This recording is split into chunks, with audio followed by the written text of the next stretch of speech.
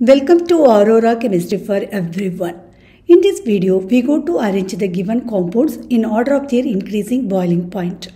Pentan-1-ol, N-butane, pentanal, ethoxyethane.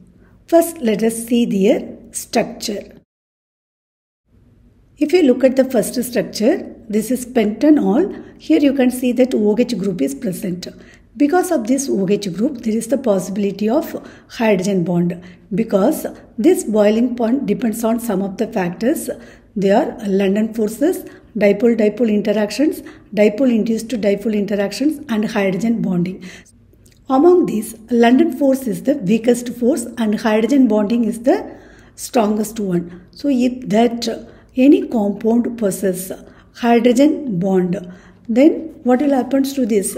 This will increase that boiling point of the compound. So among these all the elements, alcohol is able to form hydrogen bond because if you look at this ROH group, then this will connect to hydrogen of another ROH group.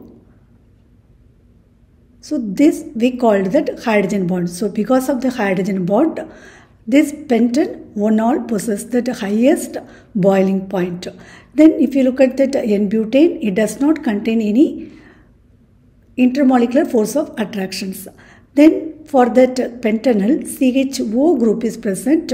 So that CHO group is present like uh, this way. So this O and then another CO that means CHO of that another compound if you look at this, so oxygen is a highly electronegative element. This will create that uh, partial negative charge over oxygen atom and partial positive charge on that carbon atom. So because of that there is the dipole-dipole interactions. So that is why the boiling point of pentanal is also high. Then for ethoxyethane only oxygen atom is present so they can, cannot form that hydrogen bond as well as that dipole-dipole interactions. So the order is N-butane, ethoxyethane, pentanal and pentanol. Thanks for watching.